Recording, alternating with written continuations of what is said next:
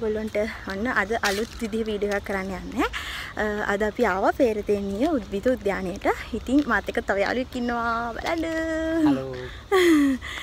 ඉතින් අද මම පුළුවන් විදිහට ඔයගොල්ලන්ට පෙන්නන්නම් වටපිටාව ගැන ඒ වගේම මොනවද මට පෙන්වන්න පුළුවන් දේවල් මම ඔයගොල්ලන්ට පෙන්වන්නම්. ඒ වගේම මම හොයාගත්ත කරුණු කිහිපයක් තියෙනවා. සමහර විට ඔයගොල්ලෝ ඊට වඩා දේවල් දන්නවත් ඇති. ඉතින් ඒ කරුණුත් ඔයගොල්ලොත් එක්ක බෙදා ගන්න සූදානම්ෙන් ඉන්නවා. එහෙනම් අපි බලමු.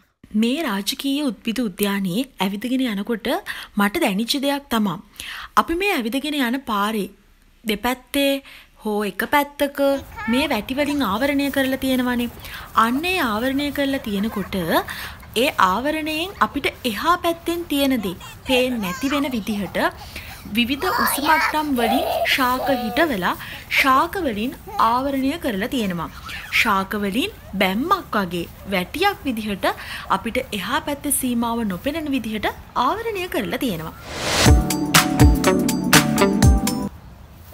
රාජකීය උද්භිත උද්‍යානය පිහිටලා තියෙන්නේ මහනුවර එහෙම නැත්නම් මධ්‍යම පළාතේ මහනුවර මහනුවර දිස්ත්‍රික්කයට බටහිර දෙසින් කිලෝමීටර් 5ක් පමණ බටහිර දෙසින් තමයි මේ පේරදෙනිය රාජකීය උද්භිත උද්‍යානය පිහිටලා තියෙන්නේ. ඉතින් අපි ආවේ මේ රාජකීය උද්භිත උද්‍යානය පොඩක් ඇවිදලා කරලා පොඩක් අපේ හිත රිලැක්ස් කරගන්න. ඉතින් මම හිතනවා පේරදෙනි ගාඩ්නයකට එහම නැත්තා රාජකී උද්විත උද්‍යානයට ගොඩක් අය ඇවිල්ල යනවා. මෙතන ගොඩක් වැදගත් තැනක්. ඒ කියන්නේ අපිට ගොඩ ලොකු ශාක ප්‍රබේද කියන ලොකු ශාක ප්‍රබේදයන් අපිට දැකගන්න පුළුවන්. ඖෂධ පැලෑටි වෙන්න පුළුවන් ඕකිඩ් වගාව ඕකිඩ් මල් ඉතින් මේ වගේ ගොඩක් දේවල් තියෙනවා. අපිට බලාගන්න තල්ගස් තියෙනවා.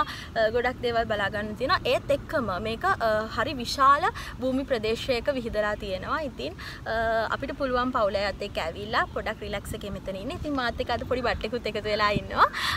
ඉතින් අපි ඒ විදිහට තමයි අද අපි දවස ගත කරන්නේ අපි උදෙම්ම ගියා දළදා මාරිකාවට ඒ වගේම ගැටඹේ අපි එහෙ ගිහිල්ලා වන්දනා කරගෙන ඊට පස්සේ තමයි අපි ආවේ ගාඩන් එකට අපේ හවස් වරුව ගත කරන්න. ඉතින් අපි බලමු කොහොමද අපේ ඉතුරු කාල සීමාව මෙතන ගත වෙන්නේ කියලා.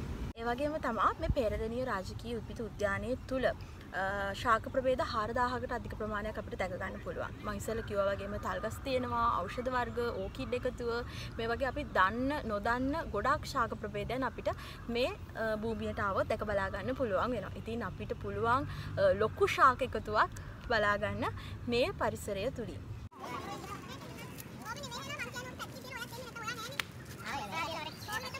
අපි දැන් මේ යන්නේ මහවැලි ගඟ උඩින් වැටිලා තියෙන සංගිලි පාලම දිගේ. ඉතින් මේ සංගිලි පාලම දැන් ගොඩක් පරණ නිසා එකපාර යන්න පුළුවන් 6 දෙනෙක්ට විතරයි. ඉතින් මෙතනත් හරිම අපූර්ව අත්දැකීමක් ලබා ගන්න අපිට පුළුවන් වුණා.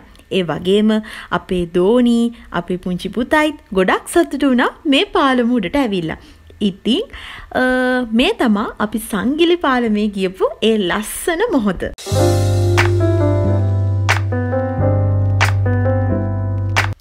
රාජකීය උද්භිද උද්‍යානයේ මේ වගේ ලොකු ශාක වැටි අපට කිහිපයක්ම බලාගන්න පුළුවන් වුණා. ඉතින් මේ ශාක වැටිවල මේ පැරණි ශාක අතර ආයම නව ශාක එහෙම නැත්නම් පොඩි ශාක තියෙනවා ඕගොල්ලන්ට පේනවා ඇති. මේකට හේතුව තමා මේ ලොකු ශාක එහෙම නැත්නම් මේ පරණ ශාක ටික මැරෙනකොට ආයම මේ පොඩි ශාක ටික පැලවෙනවා. එතකොට ඒවා ලොකු වෙලා තියෙනවා. ඉතින් එතකොට හැම කාලයකම අපිට මේ ශාක වැටි මේ විදිහටම බලා ගන්න පුළුවන්. ඒ කියලා කියන්නේ වසරේ කොයි කාලයකවත් අපිට මේ ශාක වැටි මෙතන නැති වෙලා තියෙනවා දැක බලා ගන්න හම්බෙන්නේ නැහැ.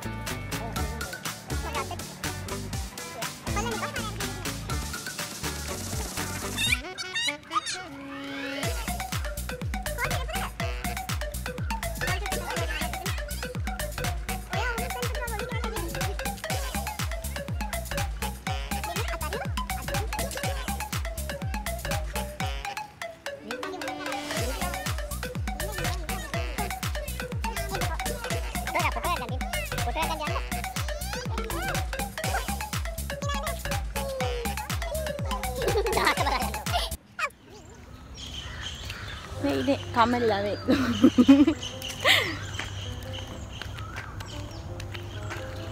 මෙයා තමයි ඇවිදින්න බෑ කියලා කිව්වේ. අතපය රිදෙනවා කියලා කිව්වේ. කිලෝ. අමාරුකම ඔක්කොම තියෙන්නේ එයා තමා. නේ. එයා හින්දා තමා ඇවිද ගන්න බැරුනේ. හැමදේම පෙන්න ගන්න බැරි උනේ ඔක්කොම මෙයා හින්දා තමා අපි යන්න යන්නේ. වෙයින් අපි දෝනි. මං දෝනිත් එක්ක කලින් වීඩියෝ කරා. අපි දෝනිත් එක්ක අල්ලන් සෙල්ලම් කරා. එතකොට අපි කෑවා බිව්වා නැටුවා ඔක්කොම කරා. ඔන්න ඔහොම තමා. අපි ඉතින් කට්ටියම හිටියා. වීඩියෝස් වල නම් ඔක්කොම ඉඳීද දන්නේ නෑ ඒ වුණාට අයියලාගේ පවුලේ හැමෝම ආවා. අපේ පවුලේ නම් කවුරුත් ආවේ නෑ ඉතින් හැබැයි තමා. ඉතින් හොඳයිනේ දවස? හොඳයි මහන්සි. ඔව් අයියට මහන්සිලු එයා සතිය පුරාම වැඩ කරනවානේ. මට නම් ඉතින් එච්චර මහන්සි නෑ. දෝනිත් මහන්සිලු මහන්සි හැබැයි මේ වගේ තැනකට ආපුහාම ගොඩක් රිලැක්ස් ඒ කියන්නේ අපිට අතේ පය අමාරුව තිබුණට අපිට පුළුවන් හිත මනස නිදහස් කරගන්න මම මගේ ලර්නිදිල් YouTube channel එකෙත් ඔයගොල්ලන්ට කියනවා අපි කොහොමද හිත නිදහස් කරගන්නේ කොයි විදිහටද අපි අපේ මනස හදාගන්නේ මහන්සි නැතුව අපි කැමති දේවල් වලට කොහොමද අපි හිත යොමු කරගන්නේ කියලා. ඉතින් ඒ හින්දා වෙන්නේ මට නම් මහන්සි නෑ. මේගොල්ලන්ට නම් මහන්සිලු.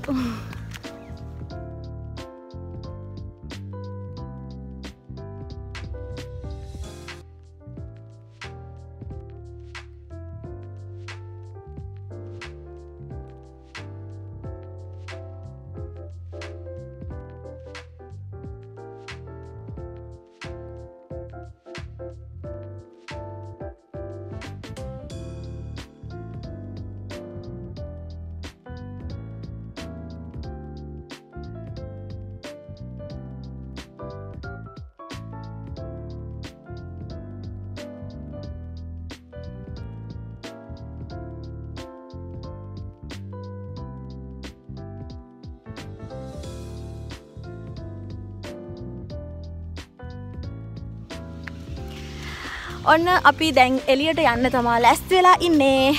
ඔක්කොම වැඩ කිවරයි අපි දැන් එලියට යනවා. වැස්සක් පහින්න යන්නේ. බයික් එකේ යන්න තියෙන්නේ. හොඳටම තෙවෙන්න වෙනවා. පහින්න දන්නේ පහින්න නැති වෙයි. මං හිතන්නේ පහින්න නැති වෙයි කියලා. එහෙම තමයි.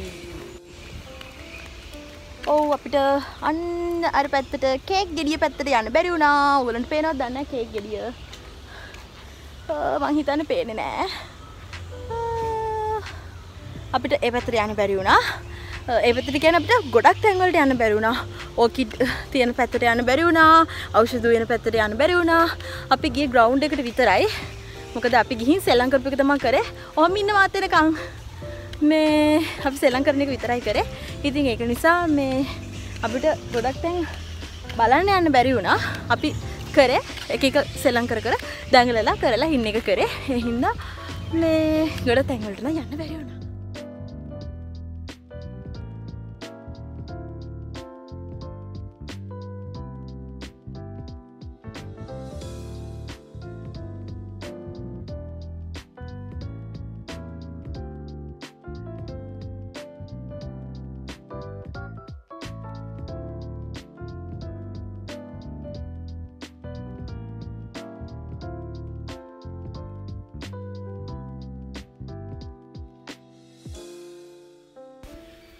ඉතින් ඔන්න අපි ගෙදර යන ගමන් තමා ඉන්නේ වැස්සක් නම් ආවේ නැහැ.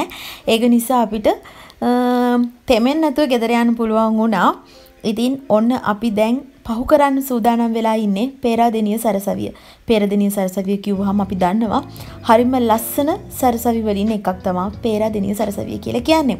ඉතින් මේ සරසවිය දිහා නම් කොච්චර වෙලා බලාගෙන හිටියත් ඇත්තටම හරිම ආස හිතෙන සුන්දර තැනක් තමා පේරදිනිය සරසවිය කියලා කියන්නේ.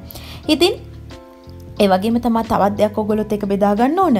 මේ බලන්න මේ පාර දෙපැත්තේ සිරිමලු, ටොෆිකොල අපි කාලා ඉතුරු කරපු කෑම ගොඩක් මම දැක්කා. ඉතින් අපිට පුළුවන් නම් අපෙන් ඉවතලන දේවල් මේ විදිහට අනිසි විදිහට ඔහේ විහික්කලා දාන්නේ නැතුව අපිට පුළුවන් නම් ඒවා නිසියාකාරව බැහැර කරන්න අපිට තවත් මේ සුන්දරත්වය රැකගන්න පුළුවන් වෙයි කියලා මම විශ්වාස කරනවා. ඉතින් ඒක නිසා ඔයගොල්ලන්ගෙන් ආදරයෙන් ඉල්ලනවා මේ වීඩියෝ එක බලන ඔබ තනි තනි විදිහට හැදෙන්න. අපිට එතකොට පුළුවන් අපේ මේ මුළු ලංකාවම මේ මුළු ලෝකයම ලස්සන කරගන්න. ඉතින් තාමත් අපිව subscribe කරලා නැත්නම් දැන්ම subscribe කරන්න. ඒ වගේම ළඟම තියෙන bell icon එක click කරන්නත් අමතක කරන්න එපා. තවත් අලුත් වීඩියෝ එකකින් ළඟදිම හම්බෙමු.